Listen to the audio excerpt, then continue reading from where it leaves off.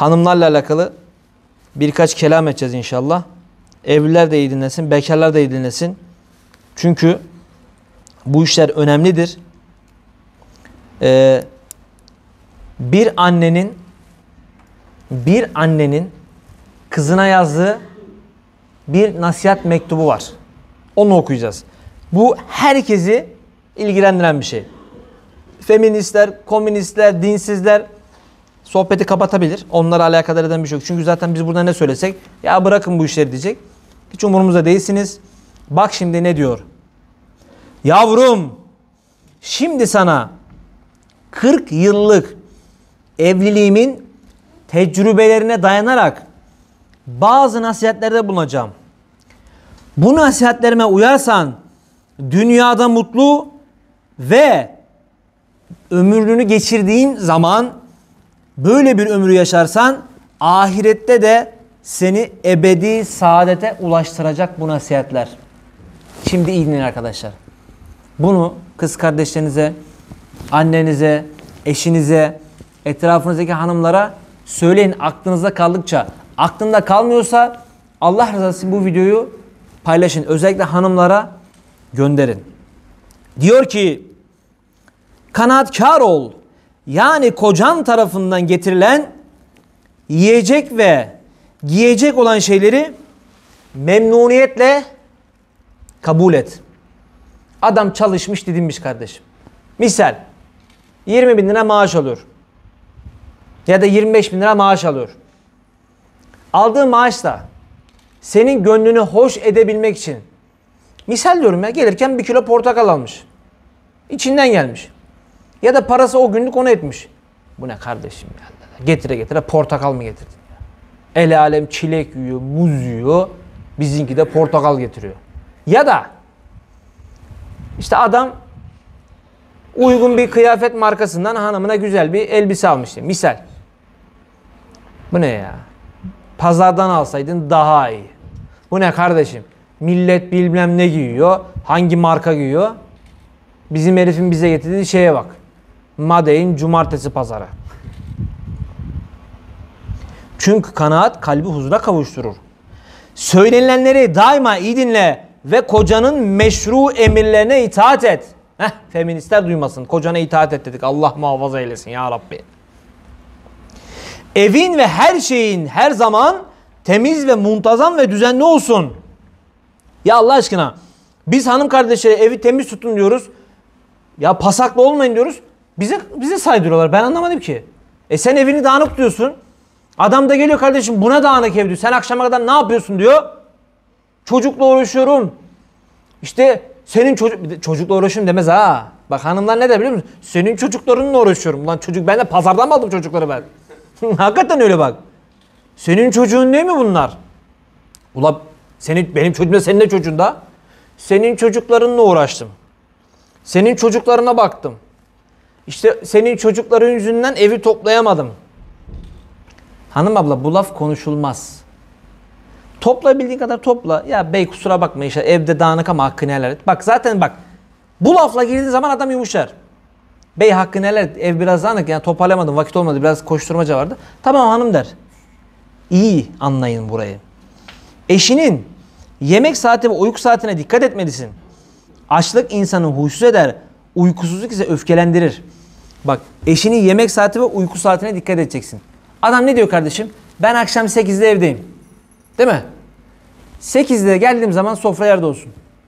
Ya adam gıcık bir şeyse, açık konuşuyorum, uyuz bir şeyse 8'de geldim o sofra yerde olacak diyen bir tipse sen de kavga etmek istemiyorsan, evde problem olsun istemiyorsan o yemeği 8'de hazır edeceksin. Sen de inat eder gibi hazırlamıyorum lan. Elle elle senin uşağın var. E ondan sonra kavga çıkınca da bizim koca ya arkadaşım huysuzsa evlenmeseydi o zaman. E beni konuşturacaksın ondan sonra yani. Evinin mallarını ve eşyalarını iyi koru. Yaptığın işleri, iyilikleri başa kalkma. İyiliğe karşı iyilik çabuk unutulur. Fakat kötülüğe karşı yapılan iyilik unutulmaz. Eşinin yakınlarına güzel muamelede bulun. Kocanın hatalarını yalnız iken yumuşak bir dille, yumuşak bir şekilde söyle. Kocanın sırlarını hiç kimseye söyleme. Karı koca arasındaki sırlar kalple beraberlerinde gömülmelidir. Eşinin üzüntüsünü ve neşesini paylaş. Ona her yönüyle iyi bir hayat arkadaşı ol. Yalan yuvayı içten yıkan bir kurttur. Yalan söyleme. Eşinin üzüntüsünü ve neşesini paylaş. Onu her yönüyle iyi bir hayat arkadaşı ol. Aranızdaki problemleri kendiniz halledin. Kadınlar bunu çok yapıyor. Anında konu komşu, kaynana kaynata kim varsa herkese söylüyor. Aranızı halledin kardeşim. Sakın bunları bize ve başkasına taşıma. Kimseden medet umma. Kocandan almakta zorlanacağın şeyi gücünün yetmeyeceğini isteme. Adamın gücü yetmiyorsa kardeşim yapma ya. Ya işte geçen bunu konuştuk. Onda bilmem ne koltuk takım var ben de istiyorum. İşte onun tülleri bilmem neden almış ben de istiyorum. Be arkadaş param yok da mübarek adam bir dur da. Beni ilgilendirmez alacaksın. Allah belanı versin senin gibi kocanın diyor. Senin diyor bilmem ne dümdüz küfür ediyor. Abi Geçen bununla alakalı sohbet yaptık. Hanımlar altta yine bana saydırıyor. Abi bana niye saydırıyorsun? Ben anlamadım ki. Hanımlar da işi yok bana saydırıyor. İşine gelmediği zaman. Ama işine geldiği zaman canım hocam ya. Ya hocaların kralı bu ya. Böyle bir hoca olamaz ya diyor. Ama şimdi bunun altına hanımlar bana sövecek. Bana ne abi?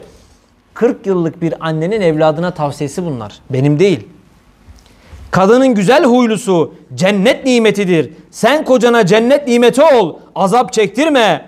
Bunları yapabilmen ancak onun isteklerini kendi isteklerine, onun rızasını kendi arzularına tercih etmenle mümkün olur. Hep kendi istek ve arzularını ön plana çıkartırsan bu nasihatleri tutman mümkün olmaz.